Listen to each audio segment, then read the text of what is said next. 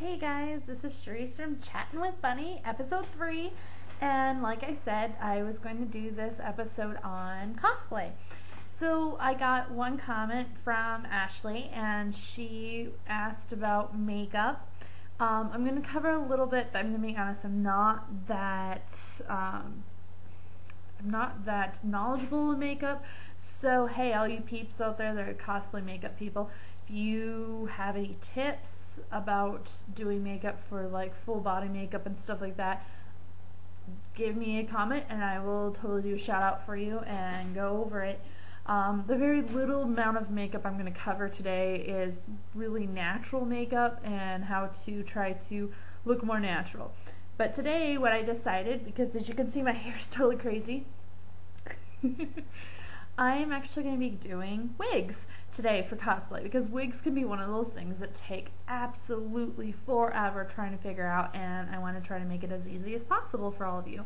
Um, first, a lot of people have asked. Um, I've seen them on forums. I've seen it even on Sodak's website and stuff. Hey, where can I get a good wig?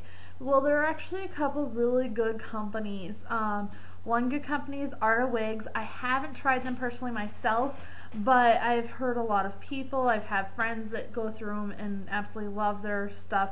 The cool thing is their wigs are good product. Um, I will actually go into how to figure out where or how you know it's a good wig or not. But um, the place that I really like to go to is actually called epiccosplay.com or Epic Cosplay Wigs. I love their products. I will actually cover a bunch of fun things the reason I really love these guys is when you go to their website, it's quick, it's easily, hey, I need a red wig. I need a red wig that looks like Orihime or like Spice and Wolf. And you can actually go through all their reds and oranges and they'll have all their styles. It's quick, you click, you buy, you're done. Um, also, what I like about is they have, and Arda Wigs does this too, where you can go through a gallery and it shows all of their cosplayers that what they've done with their wigs and I've always liked that because it gives you inspiration and shows you what you know what wig to get for a certain cosplay character you really want to do. Um, cos- epiccosplay.com. Another thing that I like is they have a good amount of video about how to style their wigs because their wigs are awesome. But they go step by step on how to style them, which is really nice because sometimes that gets a little more difficult. Um, so that's who I recommend. There are a couple other cost, uh, other websites. Um, Gothic Lolita Wigs is a decent group to go through, especially if you want the dual colors that Gothic Lolitas are really into right now. Um, or just Lolitas, not just Gothic Lolita. But, um, breathe. Um, then you can look for more, but I definitely recommend epiccosplay.com. Arda, I haven't heard anything bad, and I've seen my friends have had them and they love them and are good wigs. So uh, I would definitely go with them. I'm I'm a little cautious to go with anybody other than them, and here's the biggest reason. Um, a friend of mine, uh, you probably know her, Miracle Shining, she had once ordered a big green wig from um, eBay, which was supposed to be from China, and I mean, the pictures looked awesome, they looked fantastic, and then she got it, and it was, well, quite honestly, excuse my language, crap. Um, it was falling apart, it was snagging, and I don't even think it was the right fiber. So yeah, you gotta be. It's buyers beware when you go to eBay or anything else like that. Buyers beware when you go through forums and stuff like that. Um, cosplay.com, they have good quality wigs, but I've always run into issues of either getting your wig when you need it or that they don't have a lot of variety. So if you're really looking for a specific wig, it it's hard to go through them just because they don't have a whole lot of variety. On that have, I had said just a little bit ago about fiber. Well, fiber is the big deal about wigs. Now, um, like the wigs that you get at like the Halloween store and stuff like that, they are cheap synthetic um, plastic and they aren't good for styling. They aren't good quality by any means. So there is one brand, and of course I don't have any on my ha on hand, and I can't name it. But the minute I'm done with this video, I'll put up a link to the brand. There is one brand that at the Halloween stores you can get. The way you know is um, it lists the fiber, and it's in a nice little box. It has the fiber. The fibers that you want to have for a wig is Tantaclon or Kanekalon. They're um, a synthetic kind of fiber that is more realistic. They're really nice. They're bouncy. You can style most of them. Uh, style, it depends on which kind you get because some of them you can actually use a low heat iron on them or some, some of them you can't, but you can style them. On that half, I am going to first go on. Before you start going into wigs, the number one thing, trust me, the number one thing for all cosplayers is you need a wig cap. You have to wear a wig cap because if not, your hair sticks out. It goes like this, and you get this that weird look, that weird line where you can tell that it's a wig. If you do a wig cap, and I mean, you see, this wig cap is just like a kind of a nylon thing, so you can actually just get like nylon socks and do this. Um, Epic Cosplay Arda, they sell wig caps. Um, Oh, I just saw another company. Uh, Amphigory.com. Amphigory is also good. They're a little more expensive and they take a really long time for shipping, but their wigs are good. Uh, you can buy wig caps uh, during Halloween. Almost every Halloween store, Walmart, anything like that will have wig caps. Um, but if it's not Halloween time, which is just about every time, um, you can buy wig caps from like Sally Beauty Supply. And um, so, yeah. Anyways, wig caps. We're going to see how Shareece looks funny with a wig cap.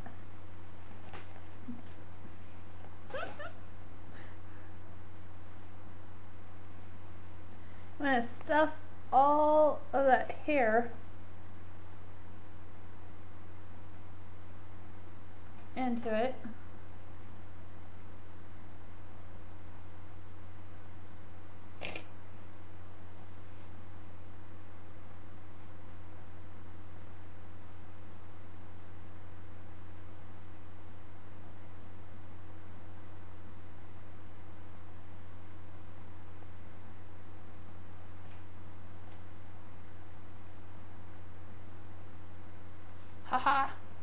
This is also a good time for you to do your makeup.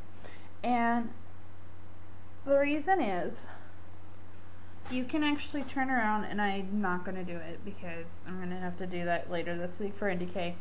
Um, you get the fabric or not the fabric, you get your makeup so um, I like to use TruBlend or anything like that from CoverGirl and you um, you put it on and you actually put it over the wig cap so you don't have that weird line when you're wearing your wig.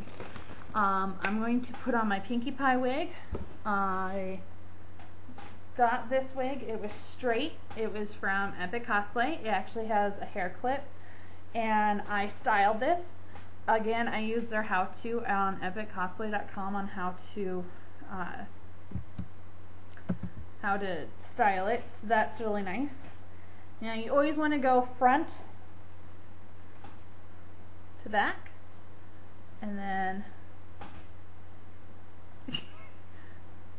that is the wrong way. Using a camera and then as you go again stuff everything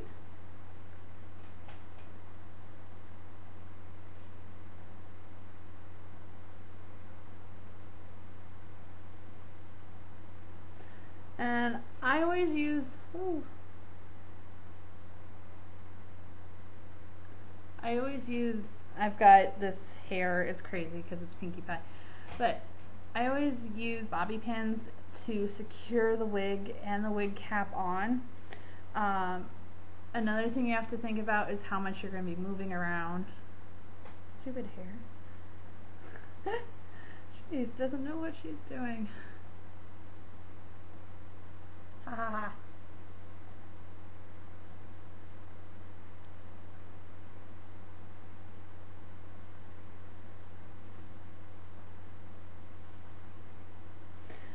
if I had some bobby pins on me, I'd fix it and it would, you wouldn't see it. Um, but great Pinkie Pie wig. How you doing? Anyways, um,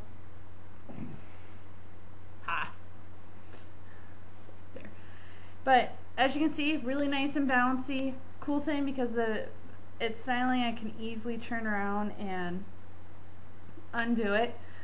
Um, now, another question about cosplay and about wigs is you have to sit there and you go, well, you got this awesome pink wig, but obviously you have these eyebrows that are not matching whatsoever. And um, I'm going to show you how to do that.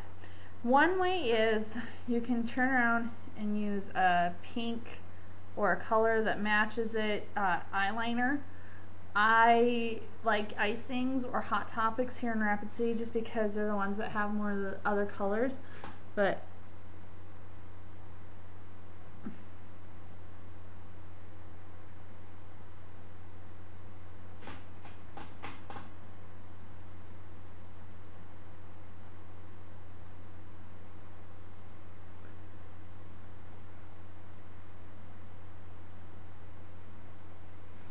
Now, again, it's common makeup, so Pinkie, prob Pinkie probably doesn't have such epic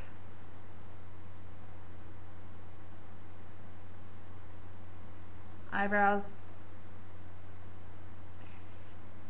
And, um, but see how quick and easy that was? Another way is, and I'm not going to wash this off, but another way that I like to do is actually get chapstick. Ooh quick, easy chapstick. And you go over your eyebrow, just like that. And then you get a loose base eyeshadow. You can get loose base eyeshadow pretty much anywhere that sells makeup, icings, Walmart, Hot Topics. I prefer icings or Hot Topics because they have a little bit better quality. Um, Max Factor from Walmart seems to be a good quality. But after you put on the chapstick, you get a nice shaping brush. If I can find my nice shaping brush. Nice shaping brush. See, it has that nice angle on it. And you turn around and you just go like that with the color and shape it your eyebrow. And um, you can pretty much get any color. Like here's a nice pretty purple. I've got blues, I've got greens. And it's quick and easy. And then you just wash it off. Do do do. Oop. I want my wig cap. Ooh, Teresa's got pink eyebrows. Now, another thing that you want to be careful with is when you have a really super long wig, like this one, see, it gets starts to get kind of snaggly. What you want to do, and you Epic Cosplay and Arda, I know send them this way, but when you get your wig, usually it is in a Ziploc bag and the big part of the hair is wrapped within the wig and then put in there. That's one way to, to do that. But you have to be careful because you get knots in it. So this is how I deal with long wigs.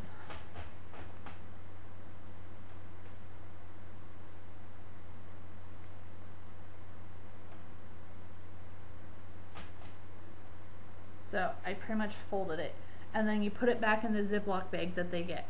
The cool thing is those Ziploc bags, they come with like this stuffed tissue paper to put into the wig cap to keep it shaped. And if you don't do that, a lot of people are like, eh, whatever. You gotta do that. Because what happens is, you can kind of see it here, because I just got this this week. Yay. Um, if you don't put that, that tissue paper, your wig gets kind of flat and this odd egg shape gets on the top of your head and you don't want that when you're wearing a wig. So you want to put in that tissue paper or put it on um, a wig head to get that shape out. Um, with cosplay uh, epic cosplays and artists theirs are heat sensitive meaning or heat styling. So you can put it on the wig hat or wig head and get low. Don't put it higher than that because sometimes everyone's hot, uh, hair dryers are different. You put it on low and you just slowly go over the top of it and it actually forms around the head. Um, I'm going to go over one last thing that I think the best, absolute best way to travel with a wig when you're going to a cosplay competition or a convention or anything like that. Gosh, I look goofy.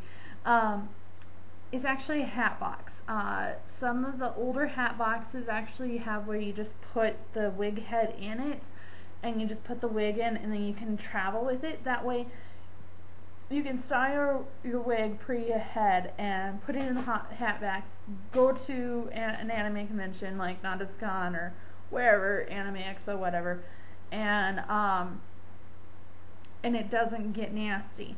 Uh, if you don't have a hat box, because a lot of people don't have hot hat boxes anymore, um, the only way I can possibly tell you is that you put it on the wig, the wig head, and then find a way to make a stable base. And the best way I have found is actually to get a small little pole and you drill it into a, like a piece of wood like this and then you put the wig head on top of it because the wig head has a hole in it. And um, and then put it like on a seat or something like that so it's stable and it's not going to run around because the minute it starts running around and everything your styling goes to poop. And um, yeah. So again anyone out there who knows more like makeup tips definitely give us a shout out. We will do something for you the next cosplay one. I recommend Michelle Phan on YouTube. She actually covers like how to do makeup for um, like Lolita and for Sailor Moon and stuff, and she's really fun. I like her. Uh, there's tons of tutorials on YouTube. I tend to stay away from body paint just because I am scared of it. I've seen it change tubs different colors. So, yeah, I hope that was helpful. I hope that you have a more of an idea of what to do with wigs and where to get them. And uh, again, if you have any questions or comments, put it onto the podcast or wherever I put it. And next week, I am going to have footage from Nan Desu Kan, and it's going to be awesome. And I will see you guys next week.